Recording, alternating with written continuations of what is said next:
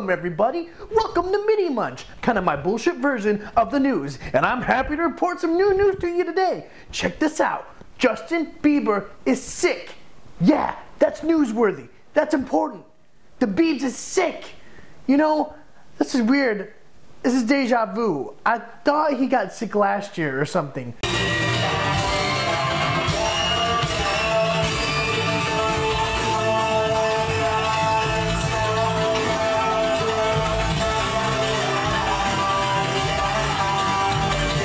What's wrong, Biebs? Pop starting too much for you? The, the big titty breast milk from all your groupies too much? Is it sour? Oh, I bet now you're going baby, baby, baby. Ugh. Come on, Biebs. You gotta man up. You gotta be more of a man. Crap.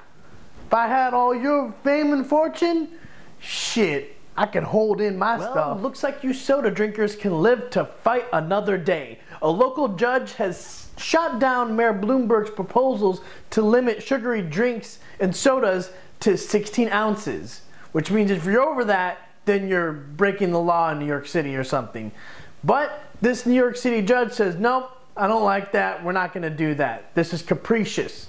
It's dumb. It's stupid. Yeah, I just yeah, that's right. I like to just drink my soda and just drink a whole bunch and inflate my bladder. I like to pee. That's a that's a that's a pastime in New York City. If I want to go to New York City and drink a whole big big gulp, an extra big gulp, and just piss all over anything I want, that should be my right. Now, thank you, Judge. This one gives me the heebie-jeebies. So, in morally disgusting news, there's a video going around of a mom giving her 22 month year old baby pie. She has a bong and she's giving it to him, and the kid takes a hit and they all laugh, I guess.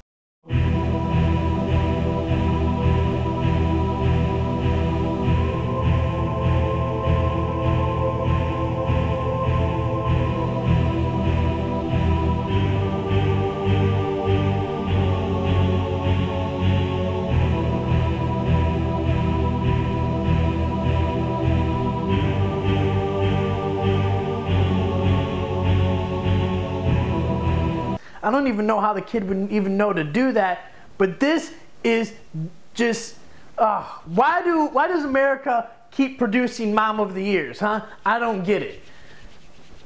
This is just disgusting. Oh, I want to just.